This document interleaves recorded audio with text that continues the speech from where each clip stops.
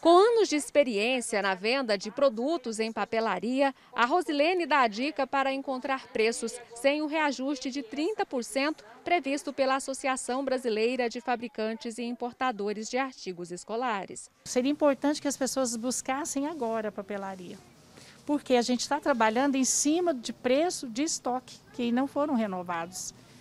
Né, por conta da, da pandemia, ficaram muitas coisas para vender, né? Que não vendeu totalmente. E com o preço está bom. Então agora aproveitar esse momento para retornar e levar coisas boas com preço melhor, né?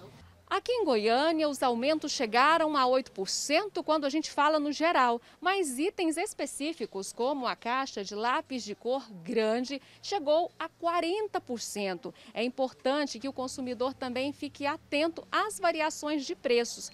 A borrachinha, por exemplo, teve uma grande, 460%, segundo o PROCON. Quando a gente vê uma variação muito grande como essa, isso é bom para o consumidor. Significa que ele tem um leque de opções. Agora, cabe ao consumidor pesquisar, porque aquele fornecedor que está cobrando mais caro, ele está apostando naquele consumidor que não vai pesquisar, vai comprar na primeira loja e vai levar, levar vantagem em cima de um prejuízo do consumidor.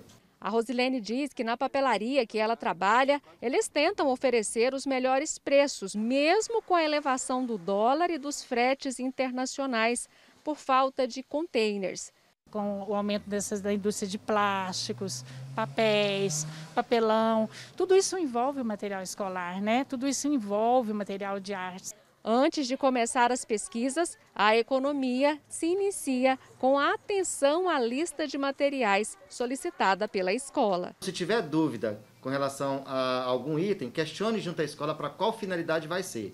Se for um item que não tem nem nada a ver, não vai influenciar em nada no processo de aprendizado, simplesmente ignore da lista. E vale a pena também né, é, entrar em contato com a escola e pedir a relação daqueles materiais que restaram do ano letivo anterior e avaliar a possibilidade de estar reaproveitando. Com certeza vai enxugar a lista que esse ano está pesando muito no bolso do consumidor.